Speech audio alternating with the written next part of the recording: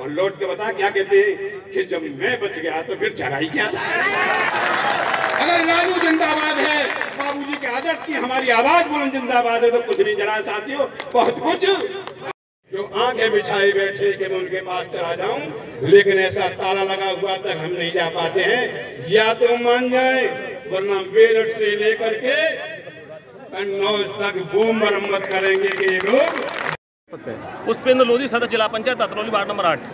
किस तरह की जन आक्रोश बैठक की गई है? किस तरह की मांग की अलीगढ़ में लालजी वर्मा जी के ऊपर जो हथियारों से हमला किया गया है और उसके बाद एक अपराधी किस्म का पिंका और रिंगा नाम के अपराधी हैं। उन्होंने गोली मारी है और उससे स्वयं अपने को गोली मार ली है केवल कानून से बचने के लिए।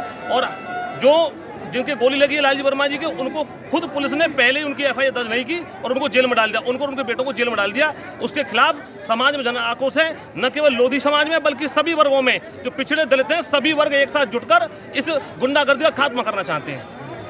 प्रशासन से किस तरह की मांग है? प्रशासन से हमारी मांग है माननीय मुख्यमंत्री इस बात का संज्ञान लें कि जिन गुंडों का संरक्षण अलीगढ़ में हो रहा है, वो एक आरपी सिंह नाम के ठाकुर हैं, जो भाजपा के राष्ट्रीय कार्यकारिणी सदस्य हैं और राष्ट्रीय कार्यालय को देखते हैं। उनके सानिध्य में ये अलीगढ़ में भूमाफिया पनप रहे हैं। सबसे पहले उन पर कार्रवाई होनी चाहिए नहीं कार्रवाई होगी तो लोधी समाज नहीं, सारे पिछड़ा समाज, दलित समाज इकट्ठा होगा और तब तक अनशन और आंदोलन करता रहेगा, जब तक इस आरपी सिंह नाम के संरक्षक को भाजपा से निष्कासित नहीं किया जाता।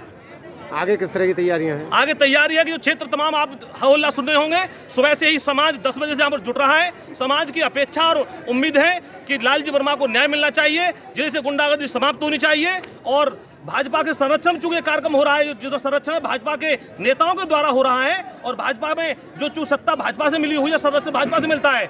आगामी 30 दिसंबर को माननीय अमित शाह जी की सभा है अगर इसका समाधान नहीं हुआ हमें न्याय नहीं मिला तो उस सभा में लोधी समाज जाने से बिल्कुल उसका बहिष्कार कोई नहीं जाएगा